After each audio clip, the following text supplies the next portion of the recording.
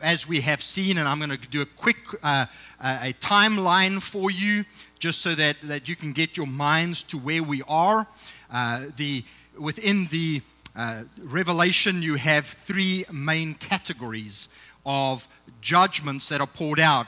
Uh, in the beginning, we found that there was the opening of the seal judgments, and this is as Christ was handed the scroll and he opened up a seal.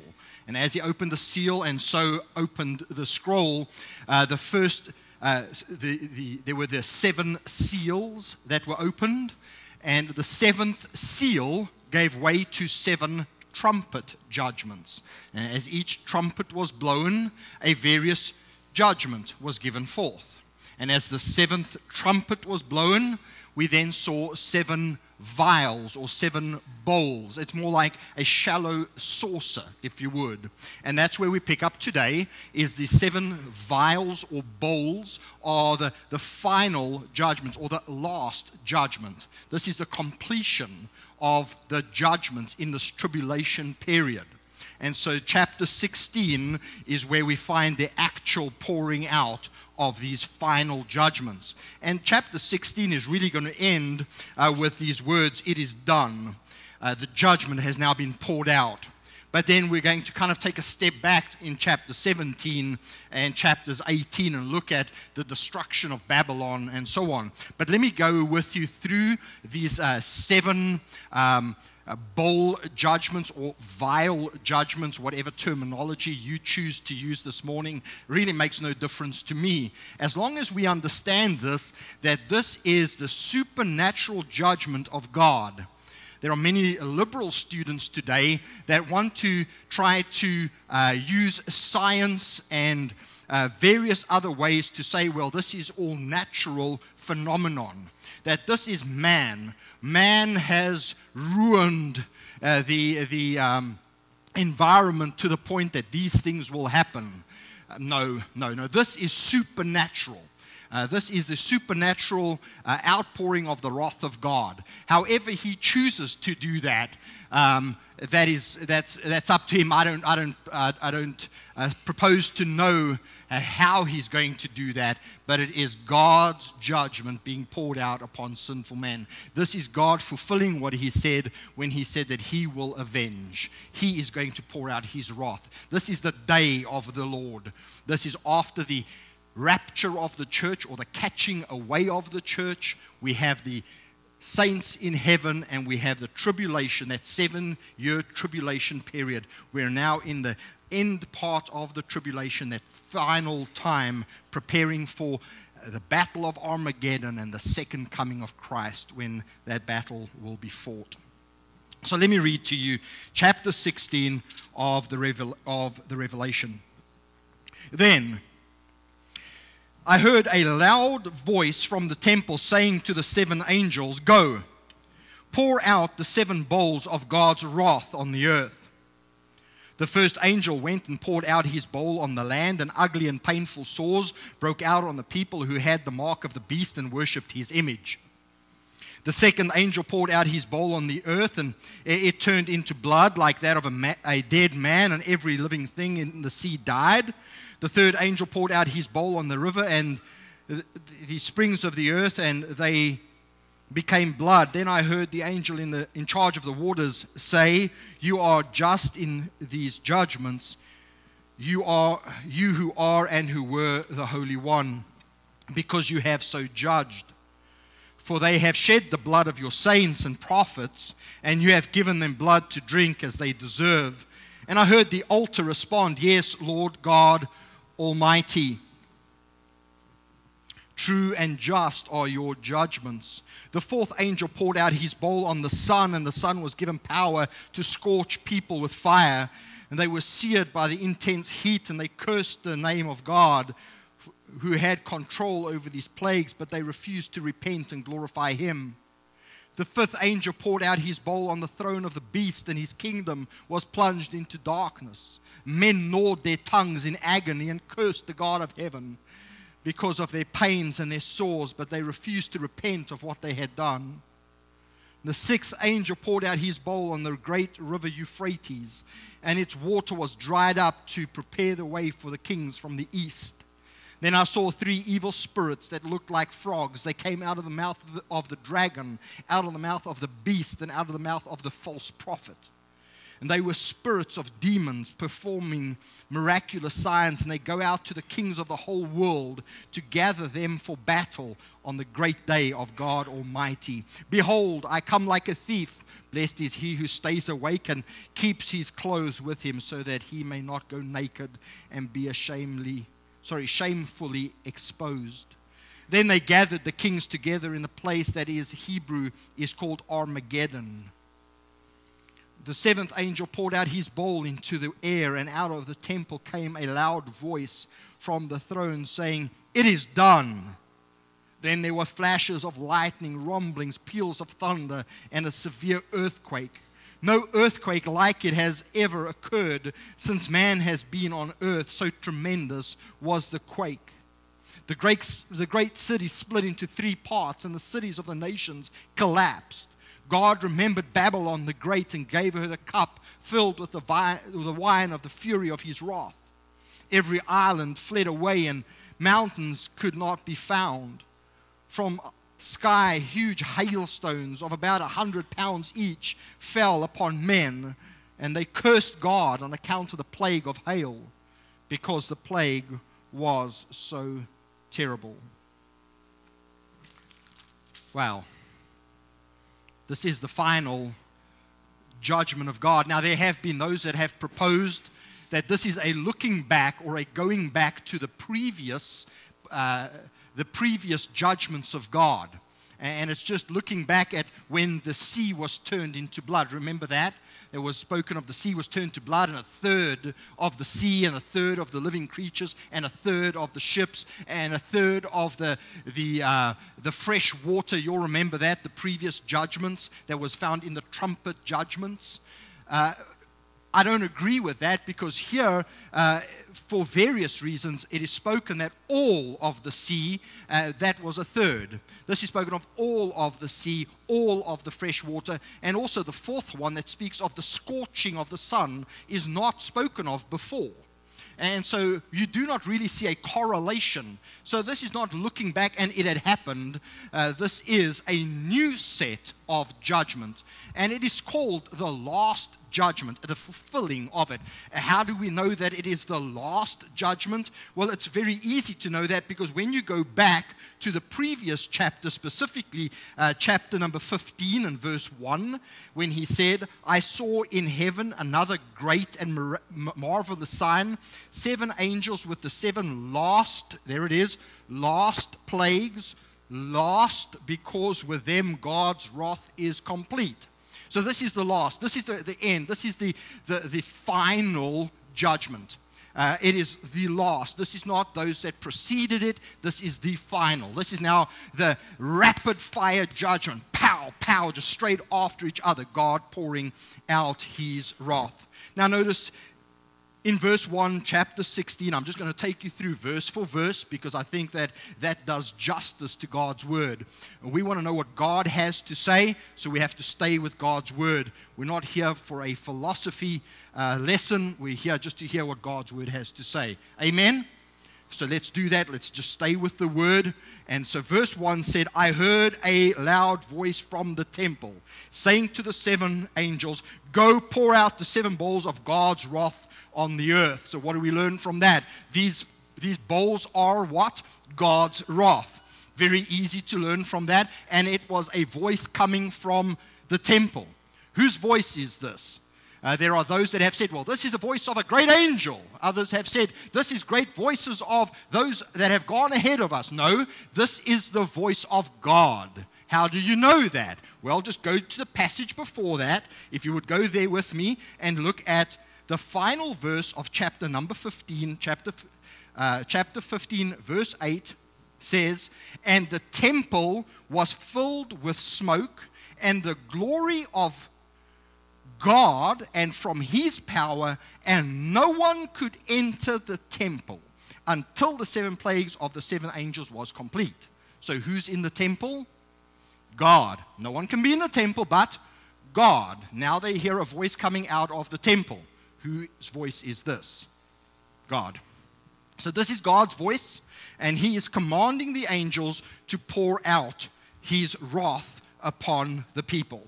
So, verse 2 says, Now the first angel went, and he poured out his bowl on the land, and ugly, painful sores broke out on the people who had the mark of the beast and worshipped his image. So, here we see this um, bowl being poured out, and the judgment falls directly on the people.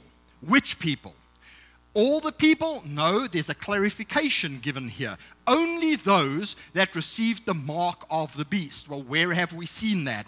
Well, we have seen that back in uh, chapter number 13 and chapter number 14. Do you remember that? That is where the false prophet led them to bow down to the image of the beast, and they had to receive a mark on their right hand or on their forehead in order to be able to purchase. This mark was known as the mark of the beast, and its number was 666. Those that would not receive this mark, those were the ones who were beheaded or persecuted, they were killed. Who were those that were killed, persecuted, beheaded? They were the ones that had a different mark on them. They were the ones that had the mark of God on them. They are the ones whose names were written in the Lamb's book of life. The Lamb who was sacrificed before the foundation of the world. And so, this is not sores, God pouring out judgment upon his own people. This is God pouring out judgment on rejectors, people who have rejected the Lord Jesus Christ. As you read these words, painful sores, the idea here is uh, on him pouring out sores that are oozing malignant sores. The words that are used uh, are the same words that we would use today um, for malignancy. Uh, those of you who have ever gone for tests of maybe a, uh, a, a sore and you've said, Preacher, please pray for me. We hope it's not malignant. You know, in other words, that, that it is, it's not cancerous. In other words, we're hoping that it has a cure, that it's, it's not bad. The, the words that are used just speak of that which is malignant, that which is so painful and oozing that it is untreatable. And so God pours out upon them that judgment. And this is just a temporary judgment a temporary judgment. They have rejected Christ.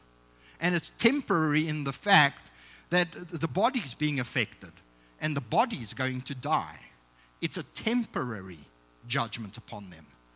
But, but there is an eternal judgment that awaits them. How do you know that? Well, well, go back to chapter 14. You've got your Bibles open, so it's very easy now. Just go one, two chapters back, chapter 14. And I, I want you specifically to look at verses 9 through 11 with me.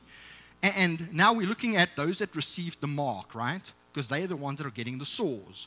Now, in chapter number 14, verse 9 says, A third angel followed them and said in a loud voice, If anyone worships the beast and his image and receives his mark on their forehead or on the hand, he too will drink of the wine of God's fury which has been poured full strength into the cup of his wrath. He will be tormented with burning sulfur in the presence of the holy angels and of the Lamb. And the smoke of their torment rises forever and ever. There is no rest, day or night, for those who worship the beast and his image, or for anyone who receives the mark of his name. That's powerful. That is very powerful. That this judgment that we see here, and we're like, wow, that judgment of sores, can you imagine being covered from head to toe with malignant, oozing sores that are so painful? But then you think, what is that in comparison to what is to come for them? And for what reason? because they would not pledge allegiance to Christ, they would pledge their allegiance to Satan. Now let's go back to chapter 16 and verse 3. So now here comes the second bowl. The second angel poured out his bowl on the sea, and it turned into blood like that of a dead man, and every living thing in the sea died.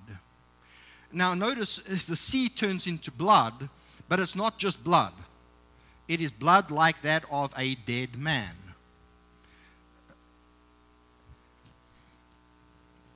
How do I explain blood like that of a dead man? I'm trying to think of, of a not so graphic way. I guess the most less graphic way is when I was living with Leilani's parents. Um, they, they owned a farm, and uh, her dad used to slaughter the pigs and the, and the uh, uh, cows and, and all that kind of stuff. And they would cut their throats and they would drain the blood, and the slaughter area became an area of congealed, thick, jelly like blood. Not runny, but jelly. So, can you imagine the sea turning into jelly like blood? When we lived in a place called uh, Cape Agulhas, which is the most southerly tip of Africa, there was something that we experienced not very often, but at certain times, and it was called red tide. Have you ever heard of something called red tide? Have you ever smelt red tide? It's terrible. Um, uh, and, and, when red tide would take place, and I don't, uh, don't uh, suppose to know exactly what red tide is, all I know is when red tide took place, the shores would be absolutely covered in every kind of dead fish, shellfish, you name it, would be covered. I mean, knee deep. They would just wash ashore. And you could not eat that stuff. It, they, they would literally come with, with front end loaders and lift it up and take it to be burnt as they would try to clean the shoreline. And, and this would just happen. This is going to be a red tide like you've never seen in your life before. Now think of how much of the earth, where's my, I hid it away. James hid my, my prop away. Um, how much of this earth is covered in sea? Two thirds of the earth is covered in sea. Can you imagine the effects of two thirds of the earth covered in congealed blood?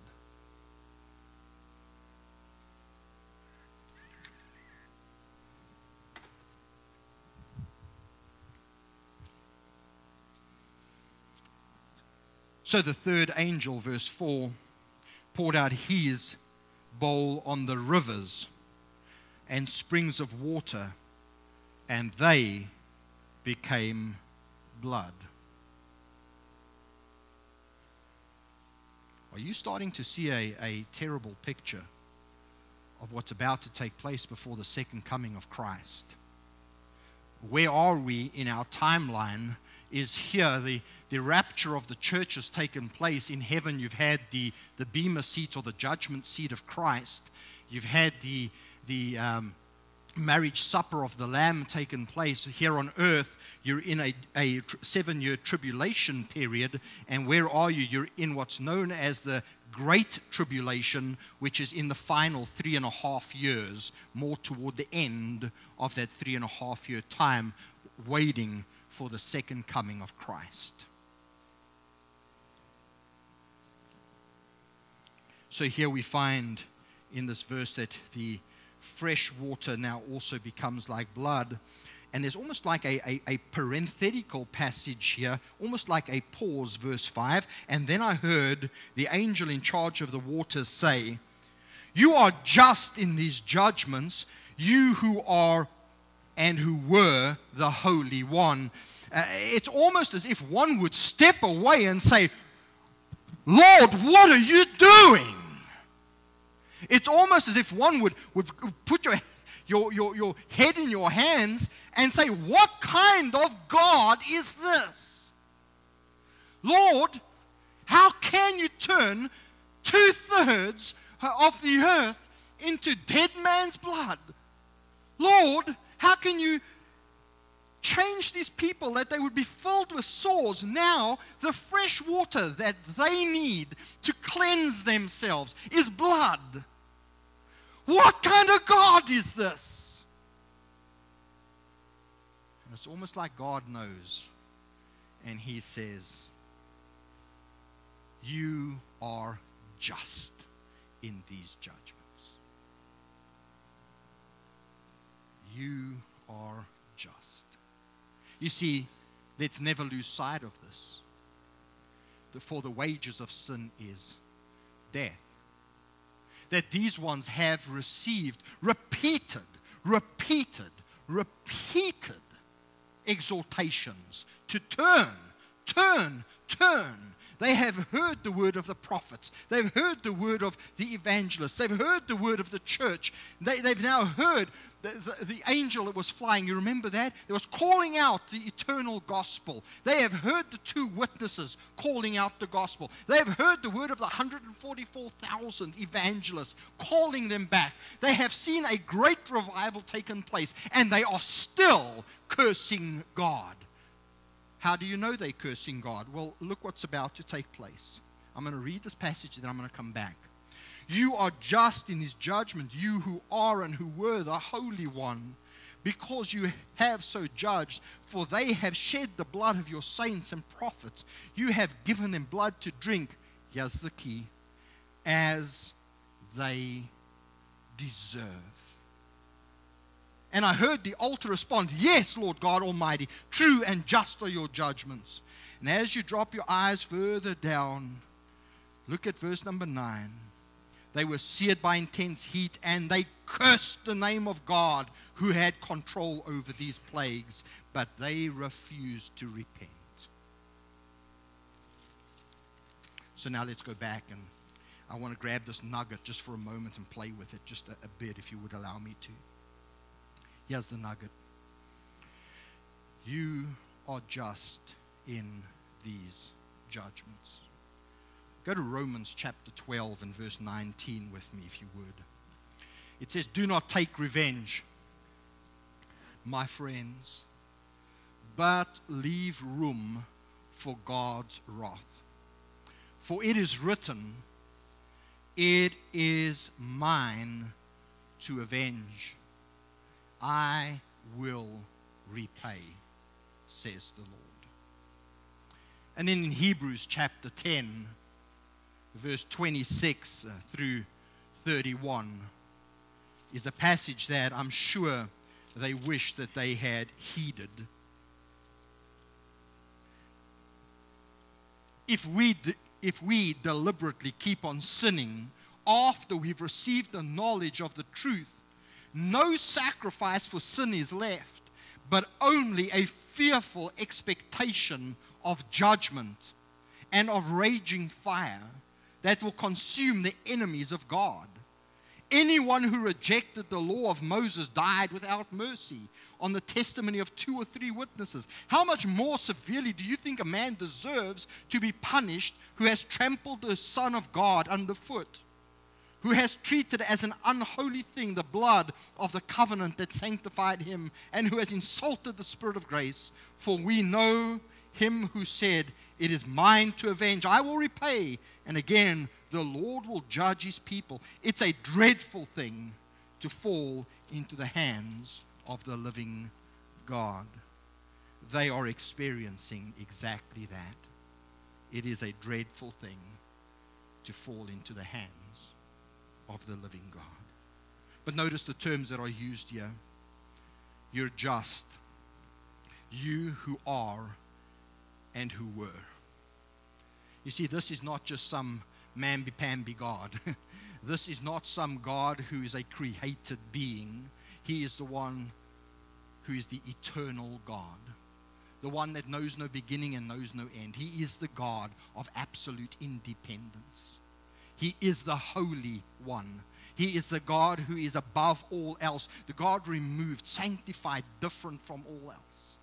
He is that God that is beyond what we can ever begin to imagine. He is the God who is holy and righteous. His standard is a standard of perfection. Boy, isn't it great that He has provided that perfection through His Son, our Lord Jesus Christ? And He holds out this grace and says, Repent, turn to me. And yet they would not repent. And so He's also the God of justice. And He judges those that refuse to turn to Him. But notice now it says in verse 6 that He is just, for they have shed the blood of your saints and your prophets. Therefore, you have given them the blood to drink as they deserve. Now, notice this verse is a great verse. Verse 7. And I heard the altar respond, Yes, Lord God Almighty, true and just are your judgments. I heard what respond? The altar respond. When I read that, I was like, the altar respond? Where have I heard that before? Commentators differ in their, their, their, their interpretation of that. I believe that the answer is found if you go back to chapter 6, chapter number 6, verse number 9, when the fifth seal is opened when the fifth seal is open. Now remember, the fifth seal is the, the great persecution of the, the, the, believers in the tribulation, those, those ones that come to Christ in the tribulation and, and are persecuted in the tribulation.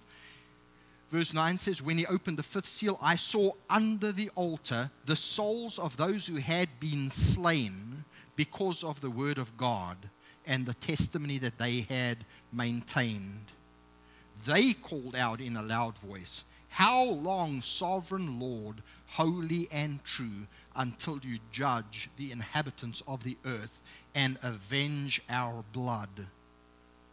Then each of them was given a white robe, and they were told to wait a little longer until the number of their fellow servants and brothers who were to be killed as they had been was completed. Now go to chapter 7 verse number 9. After this, I looked, and there before me was a great multitude that no one could count from every nation, tribe, people, and language standing before the throne and in front of the Lamb. And they were wearing white robes and were holding palm branches in their hands. This is the same people. And they cried out in a loud voice Salvation belongs to our God who sits on the throne and to the Lamb. Drop your eyes down further now. Verse 13.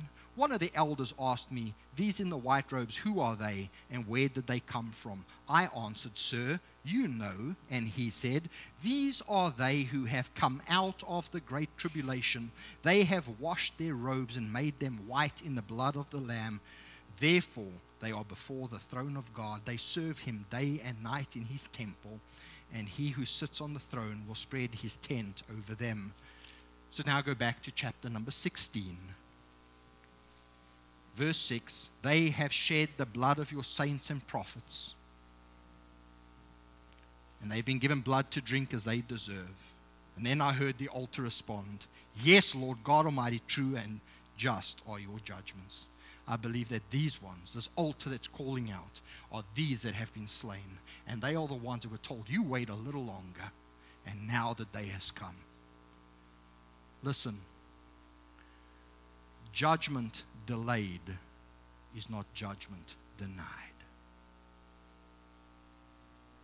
Judgment delayed is not judgment denied. Because God chooses to withhold judgment for a season does not mean that God has denied justice. He's the God of justice. And that is what these people are finding out. And so those under that altar are saying, Yes, Lord. Yes, Lord, you are true. You have proved to be faithful to your character. You are a God of righteousness. You are a God of justice. You are a God of faithfulness. Now we go on in this passage, verse number 8. The fourth bowl. And the fourth angel poured out his bowl on the sun. And the sun was given power to scorch the people with fire. They were seared by the intense heat, and they cursed the name of God who had control over these plagues, but they refused to repent and glorify God. How's God going to do that? I don't know, but when I hear this word seared, um, I think of steak. And that's a terrible picture. It's a terrible picture to have in your mind when you think of people. When you think of people created in the image of God.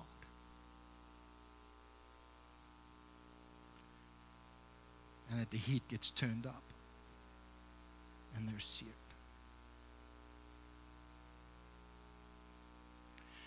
There's two words that come out to my mind as I read this passage. The first word is depravity. Even at this point, when the heat is on, they still shake a fist at God and refuse to repent. That is depravity at its nth degree. But the second word that comes to mind is sovereignty. When it looks like everything's out of control, even they know that He's in control of those plagues. He's the God of sovereignty. And I would like to think that if they had turned to Him at that moment in time, He would have turned the heat right off. That those who would call on His name at that moment in time would be saved.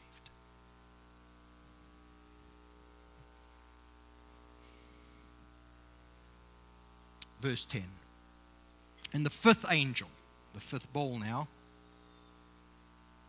poured out his bowl on the throne of the beast, and his kingdom was plunged into darkness.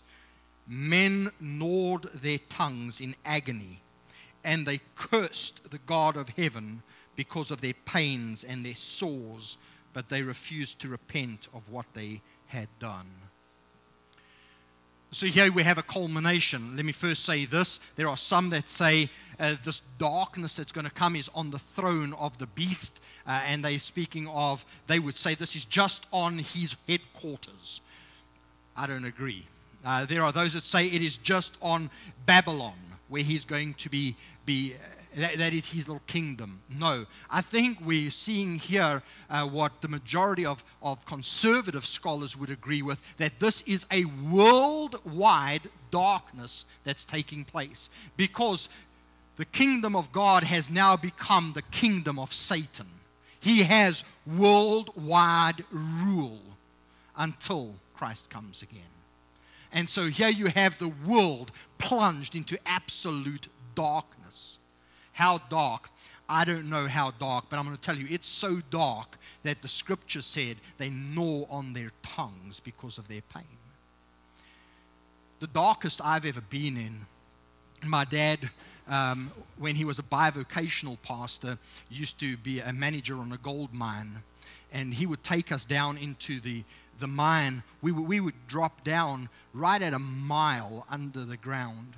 And we would go down a shaft as far as you could go. And then you'd get out. And then you'd walk along a, a, a, a, a a, what would you call it, a shaft, if you would, to a, a, next station where you would drop further down, and then you would get to a place where you would walk to what they would call the face. And this is a place that has no electricity put to it yet, no ventilation put to it yet, and so you could only spend X amount of time there, and then you'd have to get out. This is where they're advancing the mine.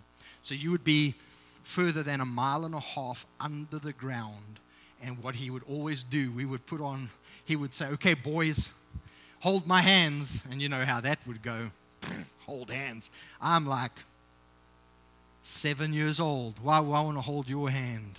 You know, don't you get it? I'm a big man. It's all right. You don't want to hold hands. That's fine. Put your hands on your on your headlamps. And on the count of three, we're going to turn them off. And he'd go one, two, three. It'd get so dark, you could slap yourself. You wouldn't even know you slapped yourself. I mean, it was, no, I mean, that was just a joke. I mean, it was so dark. You couldn't see. It was, it was so dark, it literally felt like you could feel the darkness. And when we turned the lights back on, guess what? We were all holding hands.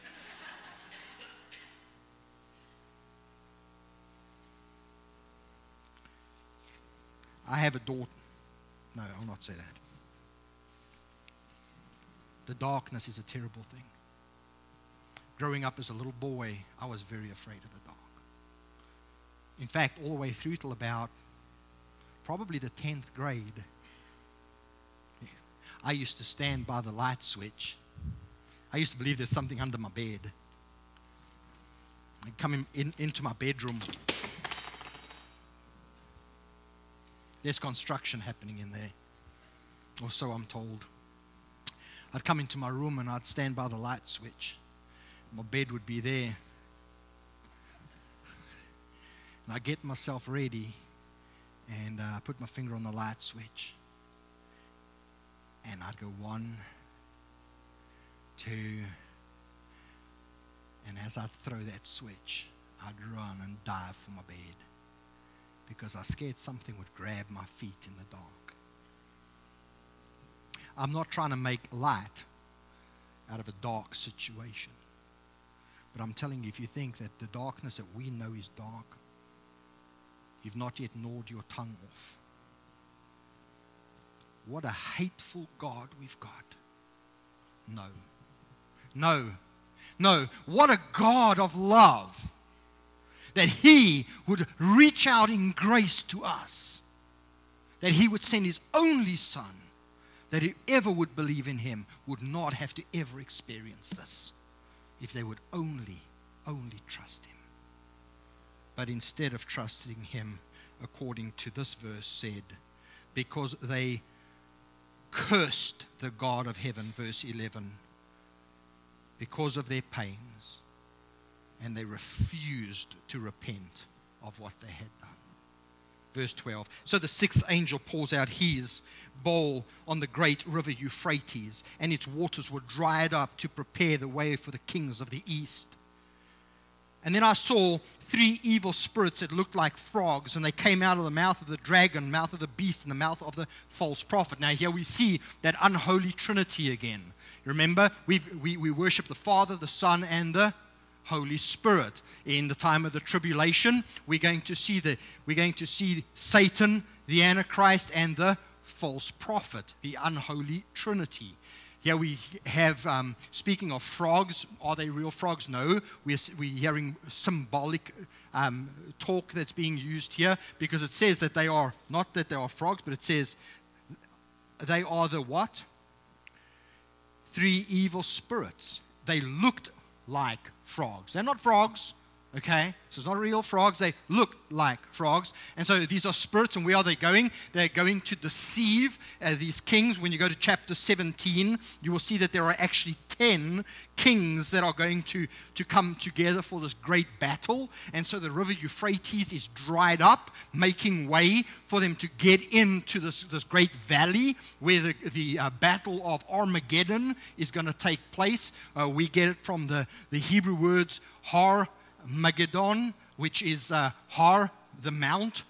Magedon, so there's no place like that. Where do we believe it to be? Uh, Joel chapter 3, verse 2. If you boys will put Joel 3, verse 2 up on, on the screen for me, please. And Joel 3 and verse 2 uh, says that I will gather all nations and bring them down to the valley of Jehoshaphat. Uh, there I will enter into judgment against them concerning my inheritance, my people Israel, for they scattered my people among the nations and divided my land. And so here we're going to have these kings that have these uh, that have been uh, incited to be brought in, and you're going to have all of these armies entering in. Uh, it's great war that's going to take place, and it's going to be amazing when we get to read about that more specifically in chapter 19 with the second coming of Christ. And you're even going to realize it's really not going to be much of a battle as much as it's going to be a squashing. Uh, Christ is going to fight that battle. He's just going to squash them. And we'll, re- we'll get there in chapter 19. Boy, actually, I'm really trying to get to chapter 19 as where I want to be. But, uh, and so here we have this, this, this the river Euphrates just drying up, allowing them all to come in. Verse 14 says, and they are the spirits of demons performing miraculous signs. They go out to the kings of the whole world to gather them for battle on the great day of God Almighty. What is that great day? That is the day of the second coming when Jesus will come to set up his kingdom, that millennial kingdom that we have spoken so much about. Verse 15 is a, a parenthetical passage. It is here that he is encouraging them. Behold, I come like a thief. Christ coming soon. Blessed is he who stays awake, keeps his clothes with him, so he may not go naked and be shamefully exposed. Then they gathered the kings together to that place, and here it is, that in Hebrew is called Armageddon. Verse 17 So the seventh angel poured out his bowl into the air and out of the temple came a loud voice. Who's in the temple?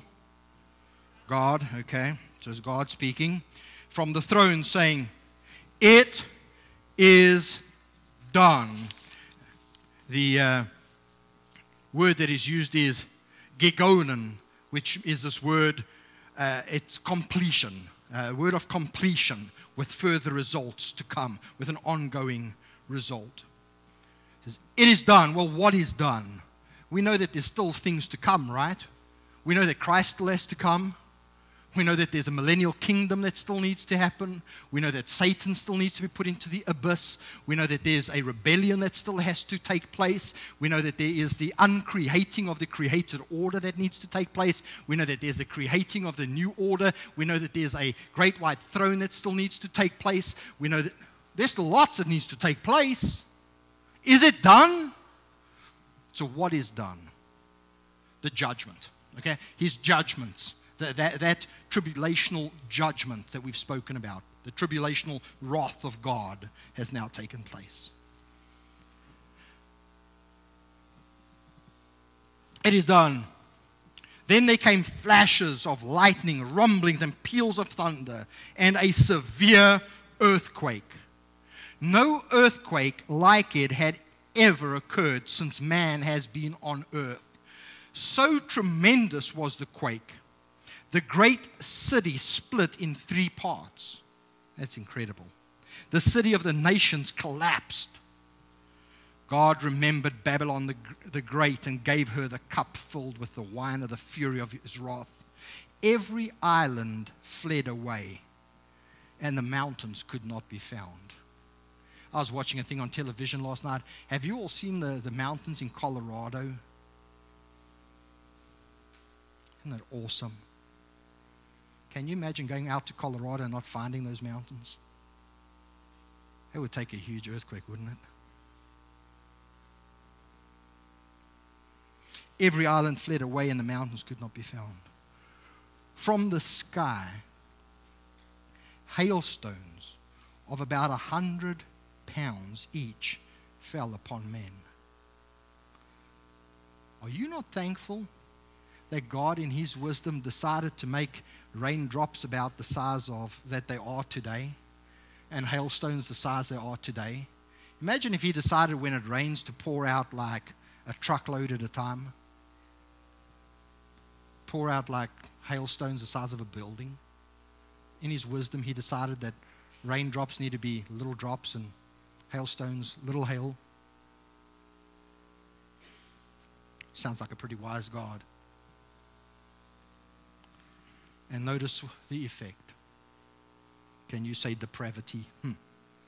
And they cursed God on account of the plague and the hail, because the plague was so terrible.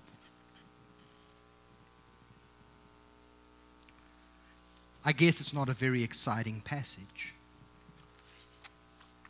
So, what do I take away from it? I take away several things, but here is a thought I want to leave with you. Our God is faithful. If He says it's going to happen, it will happen.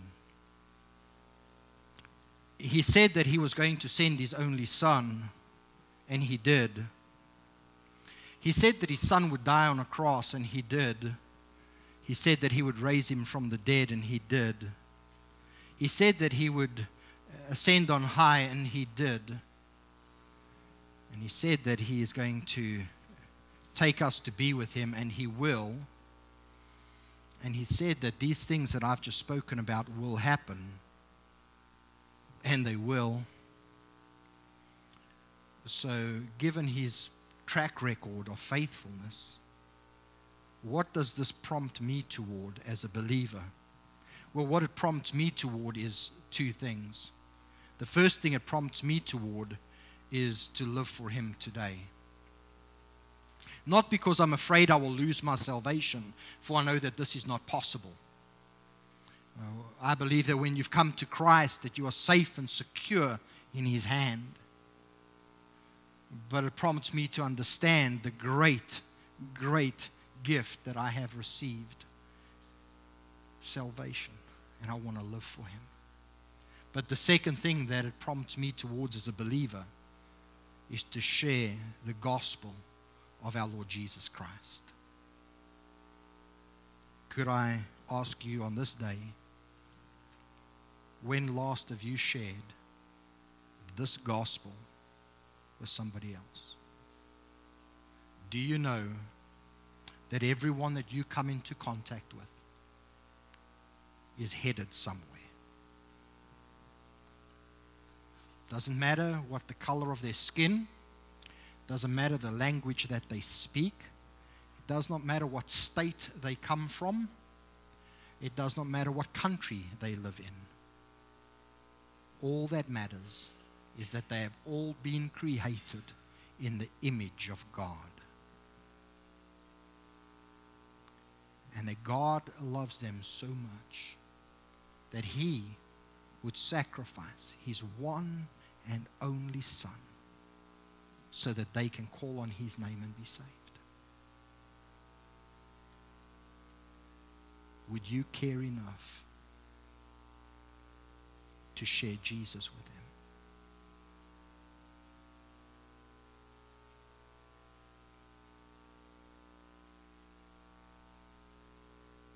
Would you care enough?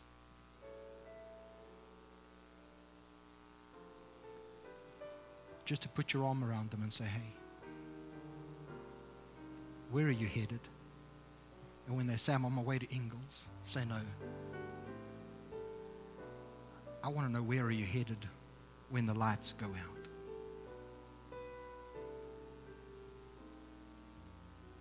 And they may say, I don't know. I've never really thought about that. And you can sit down and tell them about a God that loves them so much that he would die for them. Well, you may not even feel comfortable with doing that. You may say, you know what, I don't know how to do that. That's okay.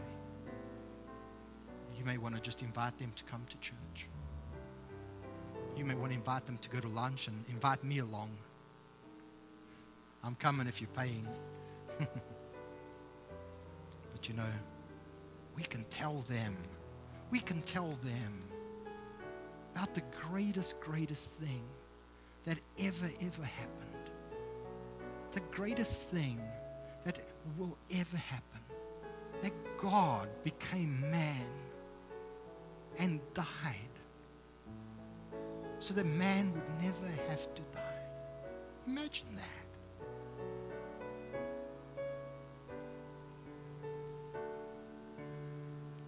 Friend, you have been entrusted. You've been entrusted with the gospel.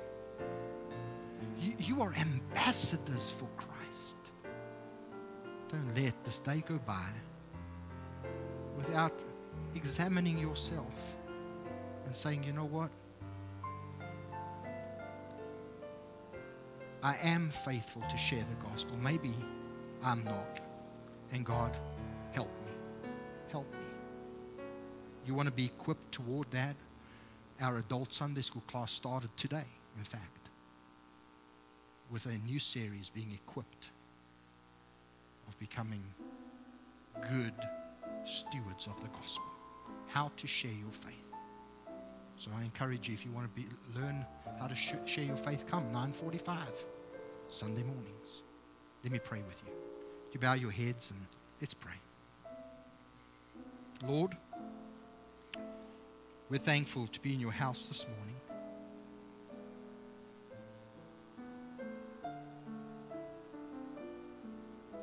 We're blessed. We are so blessed in this country to be able to just come and open your word and study your word and be encouraged by who you are, our sovereign, loving, merciful, gracious Heavenly Father. Thank you. Help us today to live for you. Help us to share the gospel.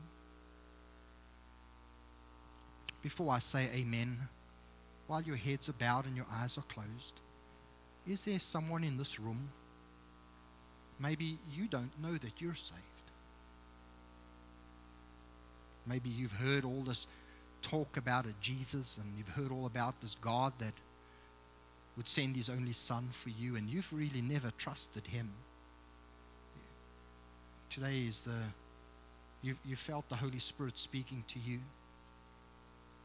Is there anyone in here that you need to come to Christ today? You want to say, I repent of my sin and I turn to Jesus? I, don't want to live for myself anymore.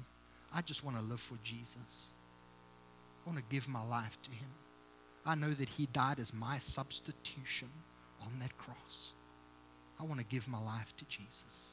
Is there anyone like that in this room? If so, would you just raise your hand high up? I'm not going to embarrass you. I'd just like to chat with you after the service. Is there anyone? You just raise your hand.